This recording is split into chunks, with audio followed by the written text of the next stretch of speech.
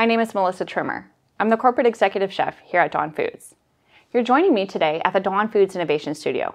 We're going to be focusing on fall and holiday recipes, so let's see what we've got. Nothing says the holidays quite like baking together. And the best part of baking is often the decorating. Our take-home decorating kits are a fun, at-home experience with pre-baked cookies for your customers that'll keep them coming back for more. I'm starting out with sugar cookies. These sugar cookies have been made with a Dawn Premium Cream Cake base. And if you want to make them yourself, you can go to dawnfoods.com backslash recipes and find our awesome sugar cookie recipe.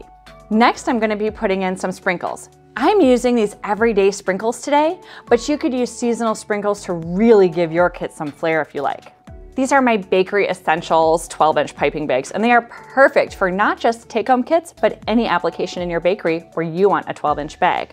I filled them with my Dawn flat icing, and I've colored them with some Chefmaster gel colors, neon blue, neon pink, and neon green. What would a decorating kit be without the packaging? Hard to do without it, isn't it? So we've picked some great everyday Dawn items that are available near you. I'm showcasing this product in a window box some souffle cups and lids, and some cookie bags. When loading these boxes, you can absolutely see how to make this exact box, but really it's just important to think about the parts that are going in.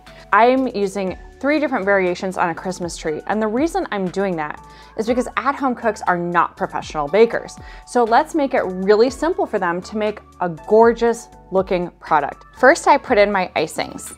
I really like flat icing because I don't have to add a tip, but if you wanted to do buttercream or even fudge icing, you could absolutely use a disposable tip on those bags. Next, I'm going to use a little two ounce souffle cup with a lid. This helps with portion control for the sprinkles so that you have just the right amount to make it look pretty, but not break the bank at your bakery. Last, I load my cookies into these cookie bags. What I love about these cookie bags is that they seal so they keep my cookies nice and fresh. I can do one larger sugar cookie or they'll also fit packs of smaller sugar cookies.